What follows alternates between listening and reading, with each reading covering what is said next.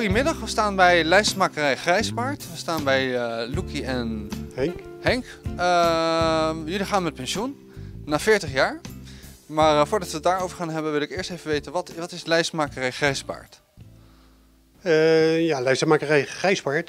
dat is een ja, atelier, bestaan 40 jaar inmiddels. Ooit begonnen vanuit een lijstenfabriek. Dat was in de vorige recessie. Toen moesten we op zoek gaan naar werk. Eh, de, fabriek ging verhuizen. Eh, wij wilden niet mee, want die ging de, de stad uit en we wilden in Den Haag blijven. En ja, dan was de keuze eigenlijk niet zo moeilijk. Het lijstenvak was leuk. Dus eh, we zijn toen voor onszelf eh, begonnen. Eh, wat, wat, wat kunnen mensen vinden in eh, de lijstmakerij Grijspaard? Alles op het gebied van lijsten. Eh, vanaf standaardlijsten, dus de goedkope, goedkopere lijsten die je boven hangt, die je weggeeft als het budget niet te groot is. Maar we zijn natuurlijk groot in maatwerk. Dat is het. Als je iets hebt gekocht van een kunstenaar op een aparte maat of eh, iets eh, nu dan op Katawiki hebt gekocht, alles.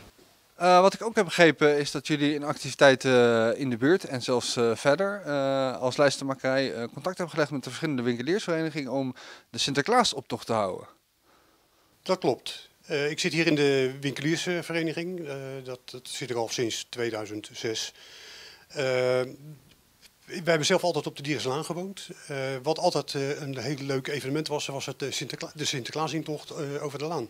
Op een gegeven moment is, dat, is die tocht is omgelegd en ja, nooit meer terechtgekomen op de Dierslaan. Sinds dat ik hier in de winkeliersvereniging zit, heb ik het plan opgevat om toch weer die Sinterklaasoptocht hier naartoe te halen. En ik heb daartoe contact gezocht met ja, de, de, de winkeliersvereniging van de Leiweg. Wij hebben er zelf even een blauwe maandag gezeten met de winkel. Dus die contacten die lagen daar. Ja, dat plan dat werd eh, goed ontvangen om het eh, gezamenlijk te gaan doen.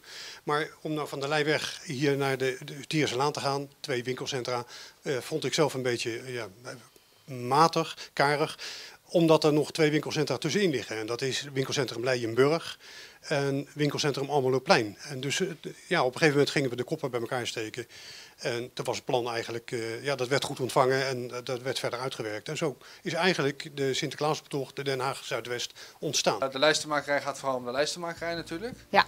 Hebben jullie wel eens ruzie als jullie met z'n tweeën in de winkel staan? Nee, dat hebben we Nee, nooit. komt niet voor. Nee. Nee. Maar het is ook zonde, hè, ruzie maken.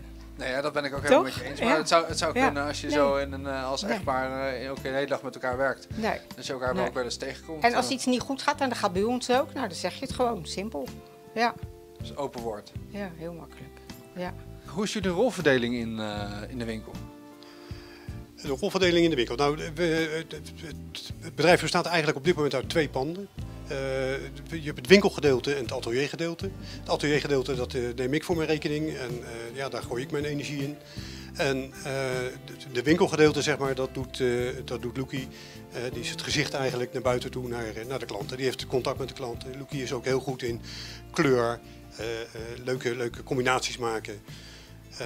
Ja, dus daar bemoei ik me nog verder niet mee. Ik, eh, ik, ik krijg de opdrachten en voer ze verder uit. Eh, goed, Loekie. We hebben ook eh, in, de, in, de, in de winkel zien we wat kunst hangen. Ja. Dat heb jij zelf gemaakt. Ja. Eh, wat passioneert jou om kunst te maken? Eh, ik denk kleur. De- ja, nee, ik weet wel zeker, kleur. En alsjeblieft eh, niet zo eh, netjes en braaf, maar een beetje gek. Dat is leuk. Mensen een glimlach geven. Ja. Speels en veel kleur, dat zien we, dat zien we ook, ook terug. Ja. Ja. Hoe, lang, hoe lang doet u dat al? Eh, ik ben begonnen op de lei... Even kijken, hoe lang geleden? Nou, een jaar of twintig geleden, denk ik. Heel voorzichtig, weet je wel. Eerst zie je een heleboel wat je binnenkrijgt om in te lijsten. En dan dacht ik vaak, van, nou, dat kan ik ook. Eh, wat gaan jullie doen eh, met jullie pensioen? Ja, weinig is de bedoeling, maar Ja, Jullie gaan vast wel wat doen. ja, we gaan wel wat doen. We zijn al een jaar of drie geleden, zagen we dit natuurlijk al aankomen. En toen dachten we van, nou, weet je wat, we gaan op zoek naar een caravan of een, een huisje ergens. We zijn gezoekend, hebben we gevonden en, eh, op de Veluwe. Heerlijk huisje en eh, dat bevalt heel goed. Dat is leuk.